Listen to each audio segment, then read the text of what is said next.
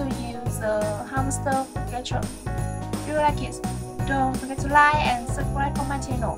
Thanks for watching. Bye bye and see you soon.